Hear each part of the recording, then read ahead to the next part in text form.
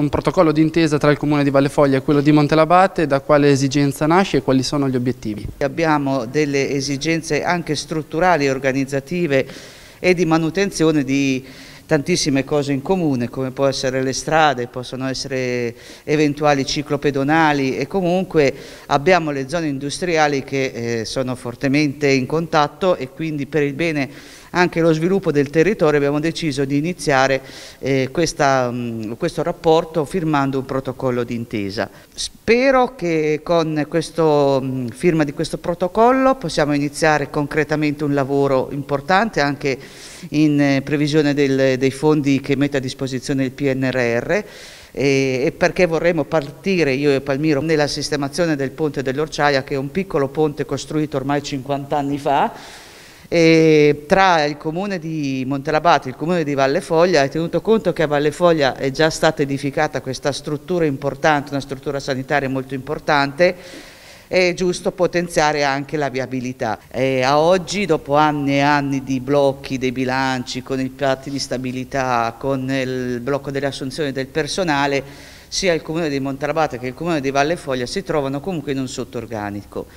e questi sottorganici non ci permettono poi di creare squadre importanti per eh, creare progetti e accedere alle risorse che effettivamente vengono messe in campo anche dalla Regione. Quindi l'unione eh, come poi dice anche il detto, no? fa la forza. In questo caso è vero perché riusciamo a mettere insieme due comuni, ma riusciamo a unire le forze per poter accedere a eventuali finanziamenti che da soli almeno come comune di Montalabate non ci, non ci riusciamo. Un rapporto, un'intesa un,